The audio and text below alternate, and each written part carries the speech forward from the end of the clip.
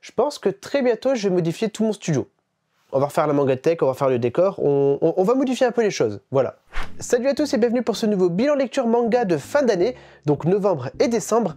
Et c'est avec une température de moins 10 degrés, j'ai froid, qu'on va commencer tout de suite avec la Trinité.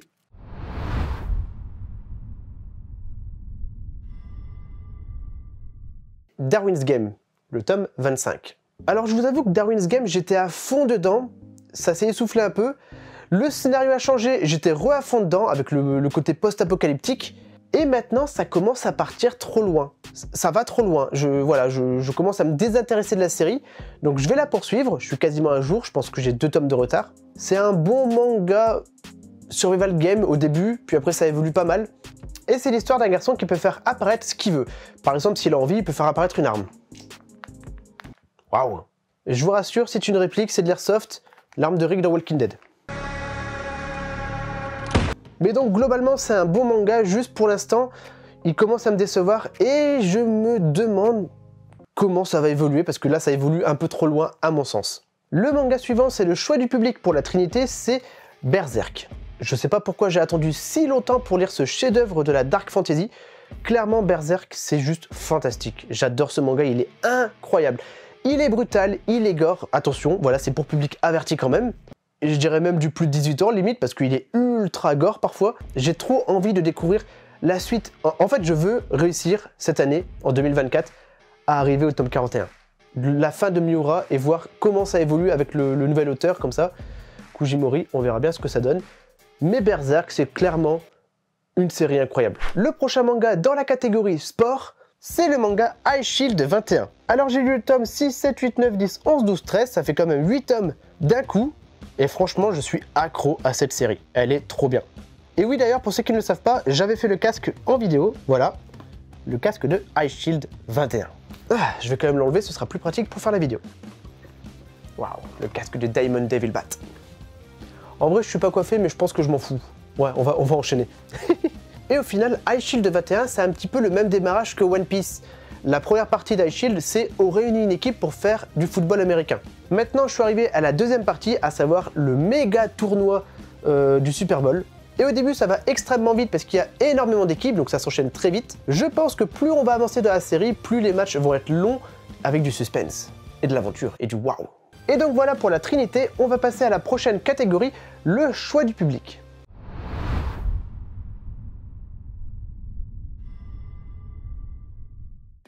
Chaque bilan lecture, en fin de vidéo, vous votez pour le prochain manga que je vais lire en priorité ou que je vais commencer. Et lors de la dernière vidéo, vous avez voté pour Glepnir. Donc j'ai lu le tome 4, 5, 6, 7, 8. Voilà, donc 5 tomes de Glepnir. J'en ai encore quelques-uns, mais, mais j'ai pas eu le temps de tout lire parce qu'il y avait des fêtes. Et je suis surpris qu'on ne parle jamais de Glepnir.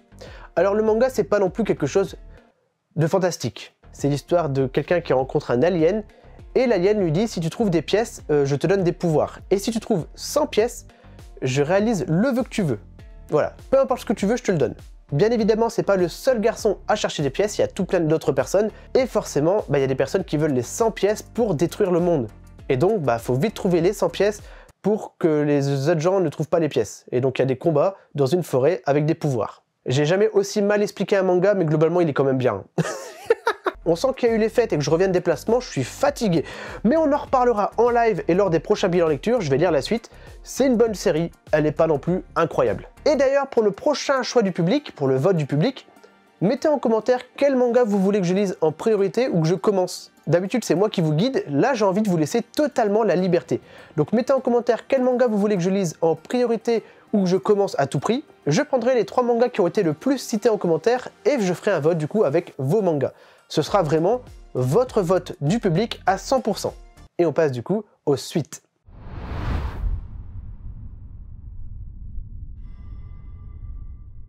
Ah, les suites, il y en a des belles et il y en a des surprenantes. On va commencer avec le manga Fuka. Alors il y a le tome 11, 12, 13, 14, j'ai lu 4 tomes de Fuka, j'essaye de finir cette série au plus vite pour pouvoir commencer Hitman. J'adore Kujiseo, c'est un auteur que j'affectionne particulièrement, mais je trouve que dans Fuka il a tendance à réutiliser les mêmes euh, schémas narratifs. En tout cas dans Fuka il y a énormément de réutilisation scénaristique je trouve. Et surtout, il y a 4 personnages qui se ressemblent comme deux gouttes d'eau. Et ça commence à faire beaucoup. Alors je sais que Fuka c'est un manga sur la musique et sur le deuil. Voilà, ça parle de la mort, c'est pas extrêmement joyeux, mais c'est touchant. Et je sais que quand tu perds quelqu'un, tu essayes de le retrouver, de le revoir un peu partout. C'est une des sept étapes de la douleur, c'est le, le déni, voilà. Là, je trouve que quatre personnages qui sont complètement identiques, à part parfois la couleur de cheveux, voilà, c'est un peu trop. C'est un manga qui est extrêmement percutant, euh, c'est le cas de le dire, et touchant au début, voilà, donc euh, vraiment c'est triste. Mais là, je pense euh, qu'il y a peut-être un peu trop de tomes ou des chapitres qui sont pas nécessaires. Donc c'est une très bonne série, mais c'est pas ma préférée de Kujiseo. Une de mes séries favorites, c'est Bucket List of the Dead.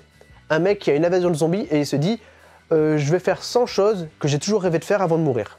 Profiter de la vie, c'est la thématique du manga, même s'il y a des zombies. Et d'ailleurs, j'ai vu le film, la première partie sur Netflix, et j'ai vraiment adoré.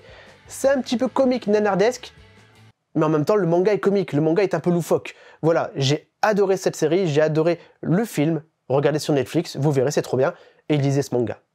Je vous en parlais, et justement, c'est les Bakuman. Alors, Bakuman, c'est des romans. C'est pas des mangas, c'est des romans illustrés. Ceux qui l'ont lu comprendront ce que je dis, il y a plus de texte que d'images. Un manga, je mets 3-4 heures à le lire. Parce que c'est trop trop long, il y a trop de texte. Mais c'est ultra instructif sur comment marche la Shueisha, le Shonen Jump au Japon, voilà. Comment on devient mangaka, qu'est-ce qu'il faut faire, le principe des classements. Il y a vraiment un côté shonen, un côté tournoi. Le manga, il est trop bien, il est trop instructif. Lisez-le. En plus, vous achetez un manga, vous en avez pour plusieurs heures, vous êtes tranquille, c'est pas un manga qui se lit en 30 minutes. C'est par Oba et Obata, les dessinateurs de Death Note, et par tellement de bons mangas d'ailleurs. Excellente série, romantique, instructif et drôle. Il y a tout en fait. Comme ça parle de tous les scénarios de manga possibles, il y a un peu de tout là-dedans. C'est ultra intelligent. Et le dernier manga pour les suites, je vais vous expliquer avant de me faire juger. Euh, j'ai lu World Ends Harem 6, 7, 8, 9, 10, 11, 12. Il y avait un lot pas cher à Easy Cash et je me suis dit, bon, tant qu'à faire, je vous en ai déjà parlé plusieurs fois, donc je vais pas trop le détailler. Globalement, c'est tous les garçons sont morts sauf 5, et ils doivent repeupler la Terre. Voilà. Sauf un qui décide qu'il va pas coucher avec les filles, mais qui va euh, créer un vaccin, histoire de, sauver l'humanité, tu vois. Globalement, le scénario à la base, c'est un post-it, mais vers le tome 10, on arrive sur quelque chose d'un peu plus politique et recherché. Il y a vraiment un meilleur scénario au fil du temps. Bon, le scénario, ça casse pas non plus trois pattes à un canard. Globalement, c'est beaucoup d'excuses pour montrer des coquineries. Donc 7 tomes de World Ends Harem, il me reste encore un ou deux, je pense, et bah en tout cas c'est un petit plaisir coupable, c'est sympa. C'est pas incroyable, mais c'est sympa. Et sur ce, on va passer à l'avant-dernière catégorie, les séries terminées.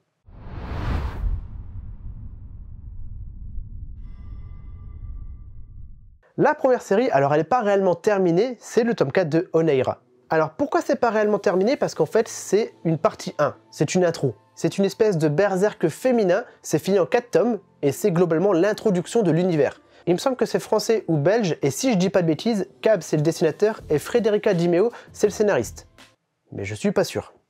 Dans tous les cas, c'est un manga qui est ultra recherché, ils ont même créé des musiques que tu peux lire en même temps que le manga. T'as un QR code, ça t'amène à une playlist, et tu peux écouter des musiques en lisant des chapitres, pour avoir une ambiance. C'est un manga qui est connecté en ligne. C'est Oneira, et je vous le dis, c'est une espèce de un, petit berserk féminin, un peu comme The Arms Peddler. Franchement, renseignez-vous, ça vaut le coup, c'est vraiment très bien. Et la deuxième et dernière série que j'ai terminée, c'est un manga que j'ai eu à Noël, et je ne pensais pas que j'arriverais à avoir le tome 3 et 4 parce qu'ils sont extrêmement durs à trouver. C'est l'intégrale de 7 milliards d'aiguilles. L'histoire d'une fille qui se fait percuter euh, par un alien, tout simplement, et l'alien, pour lui sauver la vie, rentre dans son corps. Donc elle partage son corps avec un alien. C'est un peu glauque du comme ça. Mais surtout, à la base, si l'alien est venu sur Terre, c'est parce qu'il y a une autre créature bien plus dangereuse. Et donc la jeune fille, mi-humaine, mi-alien, Ikaru, doit maintenant apprendre à contrôler l'alien en elle pour affronter une créature qui veut détruire l'humanité. Je vais pas trop vous en parler, je vais pas trop détailler parce que c'est en 4 tomes, mais c'est plutôt une bonne série. Elle n'est pas non plus fantastique, ça m'a pas révolutionné ma mangatech, mais je suis ultra content après tant d'années à avoir enfin fini cette série. Et c'est déjà tout pour les séries terminées. On va passer maintenant à la prochaine catégorie qui va aller assez vite, les séries commencées.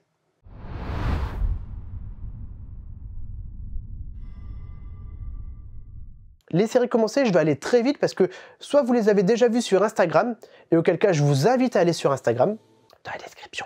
Soit j'en ai déjà parlé énormément sur ma chaîne parce que c'est mes mangas favoris. Catégorie Instagram, il y a One Half of Married Couple. J'en ai parlé plusieurs fois en unboxing sur Instagram et donc ici. C'est dessiné par Akio Kurosawa et l'histoire c'est Yukino Natsukawa. C'est une très bonne histoire et ce sera fini en 8 tomes, donc c'est une petite histoire et je vous invite à vous renseigner. Alors là par contre, c'est un énorme coup de cœur pour moi, The Moon on a Rainy Night.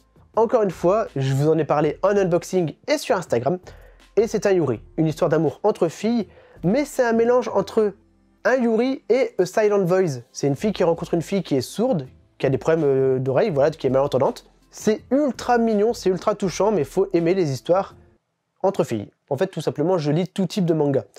Mais celui-là, bah, je l'aime vraiment bien. Si vous aimez bien ce genre d'histoire, ça peut vous plaire. Si vous aimez pas les Yuri, bah, clairement, prenez-le pas. Et pour finir, ça va aller extrêmement vite. Ma copine m'a offert Full Metal Alchemist Perfect Edition.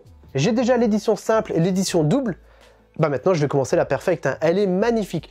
Si vous ne connaissez pas, si vous n'avez jamais lu Full Metal Alchemist, prenez la Perfect Edition. Tout simplement, dans mon top 3 des meilleurs mangas au monde, Full Metal Alchemist. Et quand j'ai été à Easy Cash que j'ai trouvé les World Ends Harem, j'ai également trouvé le tome 2 de Blame en gros format. Encore une fois, je vous en ai beaucoup parlé, c'est par Sutumuni Ei, un chef-d'œuvre de la science-fiction.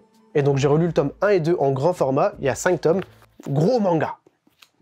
J'ai fait les deux derniers assez rapidement parce que j'ai déjà fait beaucoup de forcing avec Blame et Full Metal Alchemist, mais globalement on a fini avec le bilan lecture de novembre et décembre. Et voilà messieurs dames pour le bilan lecture, c'est lourd, novembre et décembre. Alors il y a 46 mangas si je me trompe pas, et c'était un plutôt bon bilan lecture. Je vais le poser, c'est trop lourd, c'est trop lourd. Je vous le rappelle, n'hésitez pas à mettre votre manga favori en commentaire et on fera un vote du public avec les trois premiers et je lirai vraiment le manga que vous avez choisi. Sur ce, c'est déjà la fin de la vidéo. Merci beaucoup d'être resté jusqu'à la fin. On va faire la semaine prochaine le bilan de 2023 et après, il y a pas mal de concepts qui reviennent. On se retrouve sur Instagram et sur Twitch. Salut tout le monde. Il y a encore des gens qui restent jusqu'à la fin de la vidéo Si jamais à ce moment-là vous êtes encore sur la vidéo, mettez en commentaire j'aime les pétunias. Voilà. C'est juste pour moi voir si les gens sont encore là, peut-être, je sais pas.